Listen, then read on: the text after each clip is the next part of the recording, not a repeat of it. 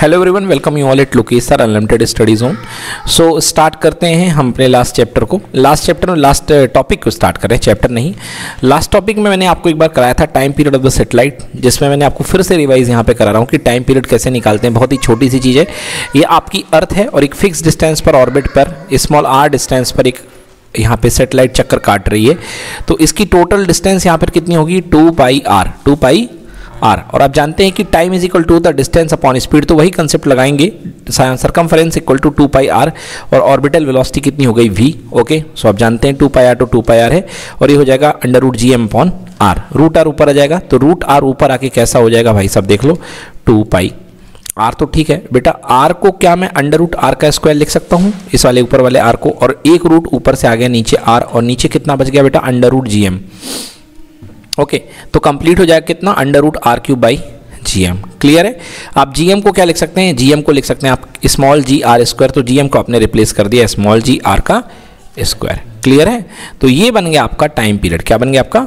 Time period आप देखिए, यहाँ पे क्या हो रहा है? यहाँ पे आप स्मॉल आर को लिख सकते हैं कैपिटल आर प्लस एच और यदि आपका सेटेलाइट पास में हो तो आपको पता होगा कि R is equivalent to capital R तो आप यहाँ पे आर को यदि कैपिटल आर के इक्विवेलेंट रख देते हैं तो वैल्यू कितनी आ जाएगी उसको भी सॉल्व करके देख लीजिए आप। तो यदि आर को आप कैपिटल आर के इक्विवेलेंट रख देंगे तो T is equals to two pi okay capital small R का क्यूब बन जाएगा। कैपिटल आर का क्यूब और नीचे कितना है? जी स्मॉल आर का स्क्वायर तो एक आर से एक आर कैंसिल फ़िलहाल यहाँ पे एक आर बन जाएगा। और जब आप इसकी वैल्यू पुट कर देंगे सब कुछ, क्योंकि टू भी पता है पाई भी पता है आर भी पता है जी भी पता है तो सॉल्व करने पर आएगा, बोलिए eighty four point six that is 1.4 hour समझ में आ गया?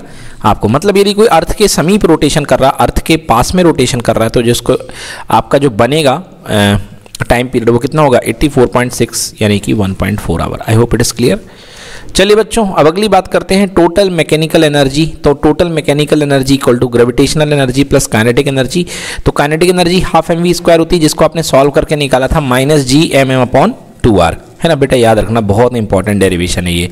Minus G M M upon two R इसको छोड़ दो, ये एंगुलर मोमेंटम के टर्म में है। किसके टर्म में है? तो थोड़ी सी मेहनत करोगे ना तो आ जाएगा। एक्चुअली एल की वैल्यू एम वी आर होती है। क्या होती है? एल की वैल्यू एम वी आर तो वहाँ से आ जाएगा हाफ़ एम वी स्क्वायर को आप रिप्लेस करना पड़ेगा और आप इसको बना लोगे।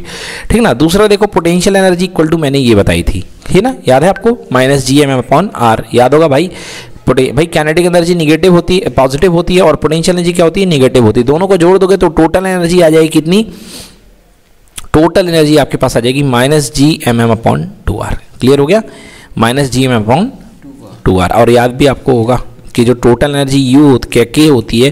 टोटल एनर्जी ई जो होती है this is equals to U का हाफ़ यू का हाफ़ याद आ गया? क्योंकि यू कितनी थी? जी एम अपॉन आर और उसका हाफ़ कितना हो जाएगा? G M M upon two R चलिए तो एनर्जी देखिए आर डिस्टेंस के साथ, देखिए एनर्जी अगर आर डिस्टेंस के साथ आप देख रहे हैं कि अगर आप डिस्टेंस यहाँ पर देखिए बढ़ाते जा रहे हैं तो एनर्जी की वैल्यू कम होती जा रही है। कानेटिक एनर्जी क्या हो रही है? कम होती जा रही कहाँ से आएगा? फॉर्मूले से आएगा। भाई साहब, ये देखिए आर की वैल्यू यदि आप बढ़ाएँगे तो काइनेटिक एनर्जी की वैल्यू क्या होगी? कम होगी। और अगर यहाँ आर की वैल्यू आप बढ़ाते जाएँगे तो पोटेंशियल एनर्जी की वैल्यू क्या होती जाएगी? बढ़ती जाएगी। क्योंकि आर बड़ा होगा, बोलो हाँ।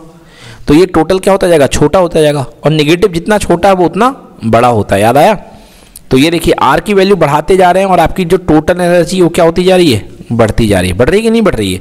ये देखिए, यहाँ पर थी, बढ़ती जा रही बढ़ती जा रही बढ़ती जा रही ये सोनू? और जो टोटल सॉरी मेरे को पोटेंशियल बोलना था, मैं टोटल बोल गया। तो पोटेंशियल एनर्जी जो है, वो क्या होती जा रही है? बढ़ती जा रही है। और टोटल एनर्जी भी उसी हिसाब में क्या हो रही है? बढ़ रही है। क्यों? क्योंकि टोटल एनर्जी का फॉर्मूला क्या है? टोटल एनर्जी इक्वल टू है ना? कितनी है? Minus G M M upon two R ये देख लो भाई साहब। Minus G M M upon two R है कि नहीं है?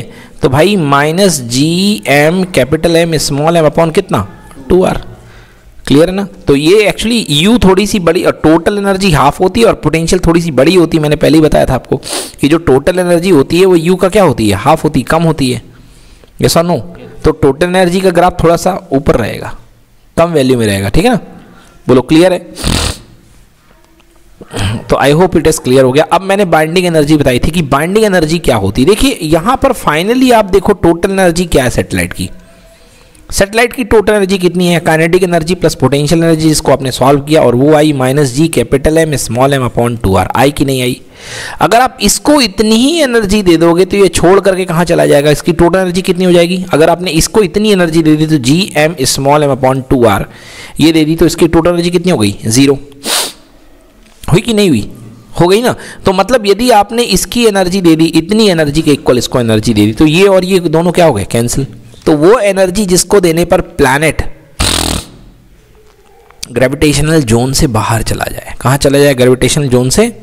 उसको बोलते हैं बाइंडिंग एनर्जी क्या बोलते हैं उसको? बाइंडिंग एनर्जी तो भाई यही लिखा हुआ है binding energy total energy of the satellite in the orbit is negative which means that satellite is bounded to the central body planet with an attractive force मैंने बताया था निगेटिव एनर्जी मतलब एडिक्शन यानी कि प्लानट किसी ना किसी मोह में फंसा हुआ है. सॉरी सेटेलाइट किसी ना किसी मोह में फंसा हुआ है. बोलो हाँ है ना? हाँ and energy must be supplied to remove it from the orbit to the infinity energy कुछ ना कुछ सप्लाई करनी पड़ेगी। अरे भाई, कितनी सप्लाई करनी पड़ेगी? जितने से बंधा हुआ उसका पॉजिटिव तो टोटल एनर्जी क्या है उसकी? Minus G M M upon two R ये देख लो, है कि नहीं है? इसी का पॉजिटिव दे दो तुम। G M M upon two R जो एनर्जी होगी, वो क्या कहलाएगी? बाइंडिंग एनर्जी बोलो क्लियर हो गया? अब change in velocity of the satellite हम पढ़ते हैं कि वेलोसिटी में चेंज कितना हो जाएगा। Okay change in change in the orbit of satellite orbit को वेलोसिटी नहीं ऑर्बिट को चेंज करने में कितना वर्क लगेगा, कितना वर्क लगेगा। देखिए बेटा, मान लो यहाँ पर लोअर ऑर्बिट है ये। बोलो हाँ है ना? और ये हायर ऑर्बिट है। हाँ है ना? तो लोअर ऑर्बिट में एनर्जी क्या होती है? ज़्यादा होती है। गलत बोल गया। एनर्जी क्या होती है? लोअर ऑर्बिट में कम होती है। और हायर ऑर्बिट में एनर्जी क्या होती है? ज़्यादा होती है। समझ में आ गया ना? तो लोअर ऑर्बिट में एनर्जी कम होती है और हायर ऑर्बिट में एनर्जी क्या होती है? ज़्यादा होती है। और आपको याद है सबसे ज़्यादा एनर्जी कहाँ पे होती है? इन्फिनिटी पे। कहाँ पे होती है? इन्फिनिटी पे। वो कितनी होती है? ज़ीरो क्या होती है? याद आया कुछ? पोटेंशियल और एनर्जी इन्फिनिटी पे क्या होते हैं? सबसे ज़्यादा। कुछ याद है कि नहीं याद है? देखिए भाई, यदि आपको भूल गया है तो W is equal to minus G capital M small M upon total energy equals to कितना होता है? टू आर बोलो ये सुनो अब नेगेटिव में नेगेटिव में है टोटल एनर्जी तो यार ज़्यादा से ज़्यादा क्या हो सकती है? ज़ीरो ही तो होगी ना? ज़ीरो ही तो होगी, क्योंकि नेगेटिव तो छोटा ही होता है ज़ीरो से यस और नो तो मतलब ऑर्बिट के जितने अंदर आप हो, आपकी एनर्जी उतनी कम है, और जितने बाहर हो, आपकी एनर्जी उतनी क्या है? ज़्यादा है यस और नो क्लियर तो यदि आप इस ऑर्बिट से लेकर के यदि इस ऑर्बिट तक मूव कर रहे हो तो आपको किया गया work equals to final energy minus initial ये सोनू तो फाइनल एनर्जी कितनी हो जाएगी? Minus G M M upon two R two initial energy कितनी हो जाएगी? बीच में माइनस लगाया सिस्टम का, और initial energy minus G M M upon two R one minus से माइनस क्या हो गया भैया? प्लस हो गया। हुआ कि नहीं हुआ? तो minus G M M upon two common ले लिया। देखो, ये प्लस में चला गया तो one upon R one minus one upon R two ये है वर्क डन क्या है ये? वर्क डन बोली क्लियर हुआ कि नहीं हुआ? अब आता है अगला डेरिवेशन भाई साहब height of the satellite height of the satellite satellite की हाइट कितनी है ज़मीन के ऊपर? तो ये सेटेलाइट की हाइट का जो डेरिवेशन है ना, ये आया है टाइम पीरियड से उठाया अपन ने इसको। ये देखो, आपने थोड़ी देर पहले टाइम पीरियड का डेरिवेशन किया था ये। बोलो T is equal to two pi under root R cube upon G M बोलिए ऐसा नो तो T is equal to two pi under root R cube R cube upon G M से इस डेरिवेशन को उठाऊँगा मैं। तो T is equal to two pi under root R cube upon G M small R क्या होता है बेटा? R plus H whole cube upon कितना? जी एम को क्या लिख सकता हूँ? जी आर स्क्वायर ये तो पता है ना आपको? क्योंकि स्मॉल जी इक्वल टू होता है कितना? Capital G M upon R का स्क्वायर तो जी आर स्क्वायर क्या हो जाएगा? जी एम हो जाएगा. हो जाएगा? अब देखिए आपको क्या चाहिए? हाइट चाहिए, क्योंकि आर क्या हो गई? Radius of the earth radius of the earth तो ज़मीन के कितने ऊपर वो क्या होगा? एच ही तो होगा ना? हमको बेटा एच निकालना है। तो क्या करो बेटा दोनों तरफ़ का स्क्वायर ले लो। क्या करो दोनों तरफ़ का स्क्वायर ले लो। तो जैसे ही आपने दोनों तरफ़ का स्क्वायर ले लिया बेटा तो ये इधर जो था ये बन जाएगा टी था। तो इस तरफ़ हो जाएगा स्क्वायर करोगे तो बोलो क्या हो जाएगा टी का स्क्वायर क्या हो जाएगा टी का स्क्वायर और ये सारी पार्टी इधर कूद जाएगी। तो टी के स्क्वायर के साथ क्या आ जाएगा? जी आर स्क्वायर क्या आ जाएगा? तो ये देखो फील करो। बोलो G R square T square बोलो हाँ। और ये जो टू पाई है नीचे चला जाएगा स्क्वायर करने के बाद। तो टू पाई नीचे चला गया तो कितना हो गया? बोलो फोर पाई स्क्वायर और यहाँ क्या बच गया? आर प्लस एच का whole cube R plus H का अब यहाँ से क्यूब हटाओगे तो इस पूरे के पूरे आइटम के ऊपर क्या आएगा? पावर वन बाई थ्री क्योंकि क्यूब हटता है तो क्यूब रूट आता है। बोलो हाँ ना? तो क्यूब हट गया तो इस पूरे के ऊपर क्या आ गया? Cube root one by three फिर एच को निकालना है तो आर को इधर कर दोगे तो आर क्या हो जाएगा? माइनस में. हो जाएगा? और ये आपके पास आ गई हाइट ऑफ़ द सेटेलाइट क्या आ गया? हाइट ऑफ़ द बच्चों इतना इंपॉर्टेंट डेरिवेशन नहीं है बट आ जाए तो यार यदि ये आपसे बनता है तो ये निकालने में कि, किस बात की देर? बहुत ईजी है ठीक है ना? आप इसको कर लीजिएगा। लास्ट डेरिवेशन मगर ये आया हुआ एग्ज़ाम में भाई वेटलेसनेस क्या होता है? वेटलेसनेस क्या होता है? तो वेट क्या होता है? वेट क्या होता है? वेट होता है रिएक्शन फोर्स वेट क्या होता है? अगर आप सेटेलाइट के अंदर जाते हैं तो आपका रिएक्शन फोर्स ज़ीरो हो जाता है और आप सेटेलाइट के अंदर तैरते हैं। समझ गए ना? ये जितने हमारे एस्ट्रोनॉट वगैरह होते हैं, ये सेटेलाइट के अंदर जाते हैं, वहाँ पर मतलब क्या बोलना चाहिए स्पेस स्टेशन है, वो एक तरीके के सेटेलाइट ही हैं, है ना? तो उनके अंदर उनका वेट कितना हो जाता है? ज़ीरो तो आइए देखते हैं उनका वेट ज़ीरो क्यों हो जाता है। ठीक है ना? तो क्या लिखा है? When a planet move around the earth in a circular orbit then the acceleration of the satellite is G M upon R square बिल्कुल होगा भाई toward the centre of the earth if a body of mass M is place on the surface inside the satellite moving around the earth then the force on the body are अब ये देखिए भाई साहब, ये अर्थ है। ये अर्थ से H distance पर एक सेटेलाइट घूम रहा है। ये है सेटेलाइट बोलो ये सुनो और ये सेटेलाइट के अंदर मैं बैठा हूँ, ये कोई एस्ट्रोनॉट है, बोलो ये सुनो सेटेलाइट के अंदर कोई एस्ट्रोनॉट बैठा हुआ है और ये सेटेलाइट वी वेलोसिटी से यहाँ पे ट्रेवल कर रहा है। तो इस पूरे सेटेलाइट पर मैं बैठा हुआ हूँ, क्योंकि सेटेलाइट के अंदर मैं हूँ तो मैं force equal to M A की रिलेशन बनाऊँगा। तो देखिए, इस सेटेलाइट पर लगने वाला gravitational force due to the earth कितना होगा? G M M upon R square होगा कि नहीं होगा?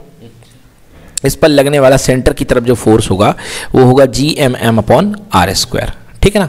Force gravitational force of earth G M upon R square से इसको बॉडी एम को अर्थ खींचेगी. खींचेगी कि नहीं खींचेगी? बॉडी एम के खींचने के कारण ये सैटेलाइट की सरफेस पे एक क्या देगा? रिएक्शन देगा. क्या देगा? रिएक्शन देगा. उसका क्या है बोलो? आर कितना है? आर और इस सब गतिविधियों के बाद मैंने लॉज ऑफ़ मोशन बनाया. तो लॉज ऑफ़ मोशन क्या कहता है? Net force equals to M F net equal to कितना बोलो? एम इन टू ए चलिए एफ़ नेट तो बेटा अंदर की ओर फोर्स लग रहा, कितना बोलो? G M M upon R square minus कितना? रिएक्शन फोर्स आर बोलो हाँ ऊपर की तरफ़. Equal to net force equal to mass into कितना? एक्सेलरेशन बोलो हाँ है ना? तो भैया, जो नेट एक्सेलेशन काम कर रहा है, पूरे के पूरे सिस्टम पे, वो कितना है बोलो? G M upon R square है कि नहीं है? है ना? G M upon R square जो नेट एक्सलेशन काम कर रहा है इस पूरे सिस्टम पे, इस पूरी बॉडी पे, वो अर्थ का है net acceleration capital G M upon R square तो ध्यान से देखिए, ये क्वांटिटी और ये क्वांटिटी क्या हो गई? कैंसिल तो answer reaction force equal to कितना आ गया? मतलब कोई रिएक्शन काम नहीं करेगा. समझ में आ गया ना? और रिएक्शन काम नहीं करेगा तो वेट कितना हो जाएगा? ज़ीरो क्लियर हो गया? Thus the surface does not exert any force on the body hence, its apparent weight is zero. Such a state is called state of weightlessness. इसलिए एस्ट्रोनॉट जो होते हैं, उनको वेटलेसनेस फील होती है। समझ में आ गया? चलिए नेक्स्ट क्वेश्चन है। अगला है geostationary satellite geostationary satellite अब देखिए अर्थ घूम रही है। इस कंसेप्ट को समझिए। बड़ा मस्त कंसेप्ट है। ये अर्थ है अपनी। ये अपनी अर्थ है। और इस पोजीशन पे है, इस पोजीशन पे इंडिया इस पोजीशन पे क्या बैठा हुआ बेटा? ये इंडिया बैठा हुआ। क्लियर अब अर्थ जो है बेटे, ये घूम रही है कंटिन्यूसली अभी इंडिया यहाँ है, थोड़ी देर के बाद पीछे घूम करके चला जाएगा, फिर ऐसे ऐसे वहाँ रात हो जाएगी, समझ गए? फिर ये देखो भाई साहब, जैसे सुबह हो गई, यहाँ पे फिर से इंडिया अपने सामने आ गया। आ गया? अपन यहाँ पे बैठे हुए कुर्सी लगा के एस्ट्रोनॉट है अपन। क्या है? एस्ट्रोनॉट ये देखो सेटेलाइट के अंदर बैठे हुए ये सामने आ गया, बोलो सुनो। और अपना जो सेटेलाइट है बट अपन ने एक ऐसा सेटेलाइट सेट किया है, जो इसके ऊपर साथ में इसको प्रोजेक्ट करते रहे, क्योंकि अपन को इंडिया का वेदर देखना क्या देखना इंडिया का वेदर कहीं आधी तो नहीं आ रही, कहीं पर मौसम ख़राब तो नहीं हो रहा है। तो जब इंडिया यहाँ पे तो ये यहाँ पे, चलते चलते चलते चलते चलते चलते ये इंडिया यहाँ पे आ गया। बोलो, अर्थ घूमेगी तो इंडिया भी तो घूमेगा ना। और सेटेलाइट भी घूम रहा है, बिल्कुल उसी के साथ में। ये देखो सेटेलाइट बिल्कुल उसका वो बनाए हुए फोकस बनाए हुए अपना। हाँ या ना? थोड़ी देर बाद सेटल यहाँ आ गया इंडिया। ये भी सेटेलाइट बिल्कुल फोकस बनाए हुए इसके सामने। समझ गए ना? जैसे ये इंडिया घूम रहा है और ये सेटेलाइट अर्थ घूम रही है, ये सेटेलाइट घूम रही है। समझ गए? समझ गए कि नहीं समझे? है ना? हाँ तो ऐसे मतलब अर्थ अगर 24 घंटे में घूमेगी तो ये सैटेलाइट भी अपना एक राउंड कितने घंटे में करेगा? 24 घंटे में। बोलो हाँ है ना? तो ऐसे सैटेलाइट जिनका टाइम पीरियड 24 आवर्स होता है उनको हम क्या बोलते हैं? जियो स्टेशनरी सैटेलाइट समझ गए ना? क्लियर हो गया? तो ये सैटेलाइट बिल्कुल नज़र बनाए रखते हैं भैया, एक पर्टिकुलर पोजीशन के ऊपर। इनको बोलते हैं जियो स्टेशनरी सेटेलाइट ठीक है? क्लियर हो गया? तो इनका टाइम पीरियड कितना होता है? Twenty four hour twenty four hour तो ट्वेंटी फोर आवर अपने पास है तो इस कंसेप्ट का यूज़ करके अपन क्या निकाल लेंगे? इनकी हाइट कितनी निकालेंगे इनकी? हाइट तो देखिए the satellite which appears stationary related related to the earth अब भैया, अब ये बताओ, यहाँ पे अर्थ में कोई बंदा है तो इसके सामने ये रुका हुआ है कि चल रहा है? भाई तुम भी घूम रहे हो मैं भी घूम रहा हूँ बोलो हाँ। तो सामने क्या दूसरे के रुके हुए ना? इसलिए इसका नाम है जियो स्टेशनरी। जियो स्टेशनरी मतलब जियो मतलब अर्थ है ना? और स्टेशनरी मतलब अर्थ के लिए रुका हुआ। क्योंकि भैया वो भी घूम रहा है साथ में अर्थ भी घूम रही बोलो हाँ है ना? सामने सामने। तो यहाँ से कोई बंदा गेंद फेंक के मारेगा तो हाथ में कैच लेगा कि नहीं लेगा? एक कंसेप्ट है। है ना? मतलब गेंद तो जाएगी नहीं फिर भी ऐसे समझने के लिए दोनों एक साथ है ना? तो इनकी रिलेटिव वेलोसिटी क्या हो गई? ज़ीरो तो दोनों एक दूसरे के रिलेट रिलेविट में रेस्ट हो गए। तो the satellite which appears stationary related to the earth is called geostationary satellite its time period around the earth should be same that of the earth equals to 24 hour तो time period तो आपने पढ़ रखा। बच्चों T equal to two pi under root R cube upon G M बोलो, पढ़ा कि नहीं पढ़ा? आर की जगह आर प्लस एच का whole cube upon G M बोलो क्लियर हो गया? बेटा, इसका पूरे का स्क्वायर कर दो। क्या कर दो? पूरे का स्क्वायर कर दो। पूरे का स्क्वायर करने के बाद सब कुछ खोल खाल डालो सॉल्व कर दो। टू पता है पाई पता है। स्क्वायर कर दोगे तो ये क्या होगा? रूट हट जाएगा। क्या हो जाएगा? रूट हट जाएगा। रेडियस की वैल्यू रख दो। एच की वैल्यू आपको पता करनी है। जी पता है एम पता है, सब कुछ रख दिया आपने। फाइनली आपकी वैल्यू जब सॉल्व करके आती है, समझ गए ना?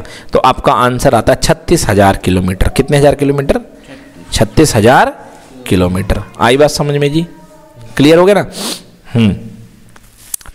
मतलब अर्थ के सरफेस से जो जियो स्टेशनरी सेटेलाइट होता है, वो कितने हज़ार, कितने थाउज़ेंड किलोमीटर की दूरी पे होता है?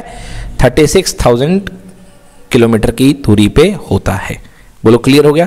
An orbital speed of the velocity तो इसकी जब आपने रेडियस निकाल ली है, आपका इसका एच आ चुका है तो ऑर्बिटल वेलोसिटी का फॉर्मूला जो अपन निकाला था ऊपर, ये देखिए ऑर्बिटल वेलोसिटी मैं आपको दिखाता हूँ। ये है orbital velocity V equal to capital G M upon small R तो स्मॉल आर की वैल्यू यहाँ पर आप रख देंगे आर प्लस एच यानी कि आर की जगह आर और एच की जगह सिक्स आर यानी कितना हो गया? सेवन आर कितना हो गया? सेवन आर क्योंकि इस, अभी आपका जो एच आया है, वो सिक्स आर के इक्विवेलेंट आया ये देख लो, ये लिखा है मैंने यहाँ पे। एच जो आया ना आपका, वो सिक्स आर के इक्वल आया ये देख लो एच इक्वल टू कितना? सिक्स आर सिक्स आर मतलब कि रेडियस ऑफ़ अर्थ का छः गुना, यानी कि छत्तीस हज़ार किलोमीटर। क्लियर हुआ? तो अगर आप इसको पुट कर देंगे ऑर्बिटल वेलोसिटी वाले फॉर्मूले में तो आंसर कितना आ गया? 3.1 किलोमीटर पर सेकेंड समझ गए? क्लियर हुआ कि नहीं हुआ? हाँ तो नॉर्मल सेटेलाइट से भी भैया स्लो चलता है।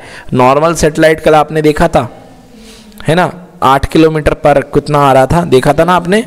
हाँ। तो ये भैया आपकी जो स्पीड है ऑर्बिटल वेलोसिटी 3.1 किलोमीटर पर सेकेंड है। तो यहाँ पर ये चैप्टर आपका टोटली खत्म हो चुका है। अब कुछ भी नहीं बताया बचा हमने 59 स्लाइड्स इसकी कंप्लीट कर ली है, ठीक है? तो ग्रेविटेशन यहाँ पे फिनिश होता है। Thank you so much